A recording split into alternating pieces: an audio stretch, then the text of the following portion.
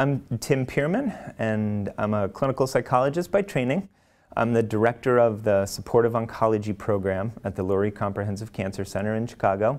I'm also a professor in the departments of medical social sciences and psychiatry and behavioral sciences.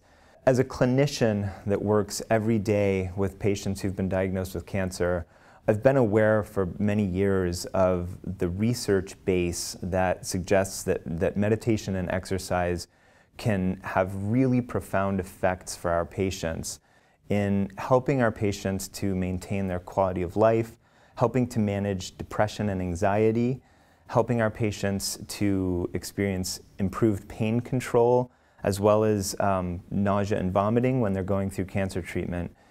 But I can also tell you from a personal perspective, I use meditation and exercise for myself to kind of manage my own quality of life, to help myself with sleep. Um, to really kind of keep my eye on the ball when it comes to wellness and, and health.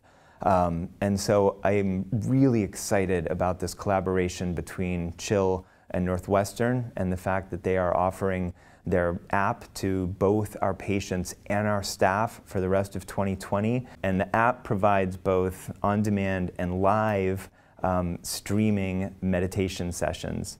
And the, the wonderful thing I want to add about meditation is that it doesn't have to be a huge commitment of time. So even just a few minutes a day can have a really noticeable effect on all of those things that I mentioned earlier. So you have a variety of options with the app, and, and I really, really hope that our, our staff, our patients, will avail themselves of this really unique opportunity. So I just want to end by saying thank you so much to Chill for offering this to, to all of our people.